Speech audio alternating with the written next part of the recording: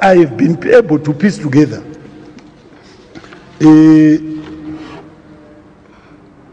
have maybe two things. You know, democracy is about being allowed freedom of expression.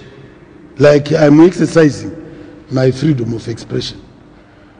But it's also about freedom of receiving information.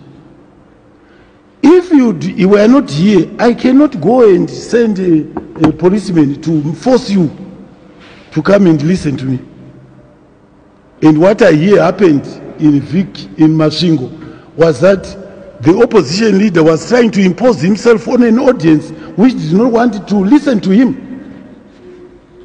It had no right, he had no right to force people to listen to him.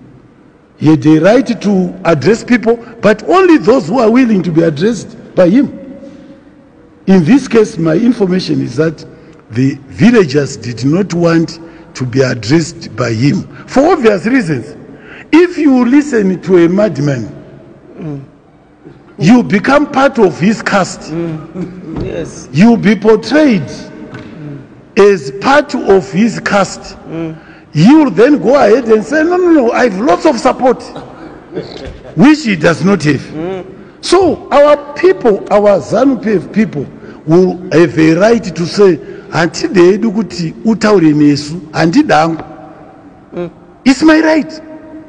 Zvino iwe ukauya kuneni ukati bedzi ah, i have reason to be angry.